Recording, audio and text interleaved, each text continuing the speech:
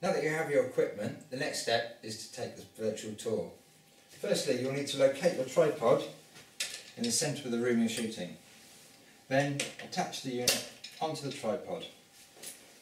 Then turn the camera on. Flip out the handy screen. Make sure it's set to C1 or C2. Next step, extend the mirror. Once it's extended, you will see on the screen that it's at the perfect zoom, with the black circle just touching the outside, and the image is in focus. Perfect. We also set it with a 10 second timer, so that you're not in the shot when it's taken.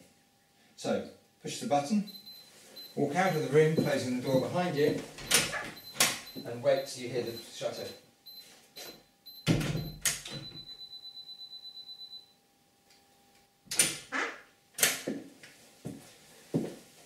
Now the shot's been taken for this room, you can simply close the mirror down, fold the tripod up and walk to your next room.